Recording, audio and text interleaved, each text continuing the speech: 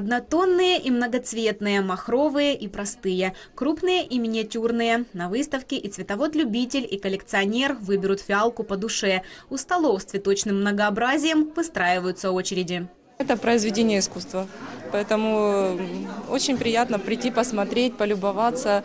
Э, такая вот атмосфера цветочная, весенняя. Невозможно удержаться.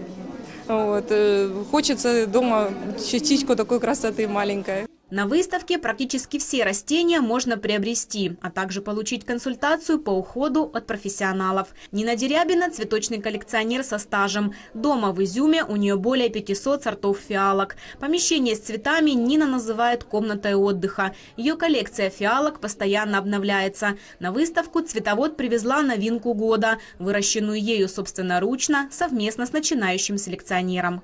Вот это сорт, который Таня мечтала, чтобы он был красный и с фэнтези. Тут розовые ручейки более, ну, более осветленные. Вот она хотела красный фантазийник. Вот у нее получилось. Она назвала его «Любовь». Небольшая тара для посадки, рыхлый грунт, солнечный свет и умеренный полив. Цветоводы рассказывают, фиалки не настолько прихотливы, как может показаться на первый взгляд. Поэтому все больше людей увлекаются их разведением. Коллекционеры говорят, к выращиванию цветов каждый приходит по-своему. Кто-то сразу мечтает об участии в выставках, а кто-то таким образом справляется с проблемами. Даже психологи рекомендуют. То есть если у человека проблемы в жизни, там, в семье или на работе или где-то, вот переключение на деятельность выращивания именно фиалок, потому что они цветут очень быстро. Они очень благодарны, они потом очень хорошо цветут. Это, это, очень, это очень приятно.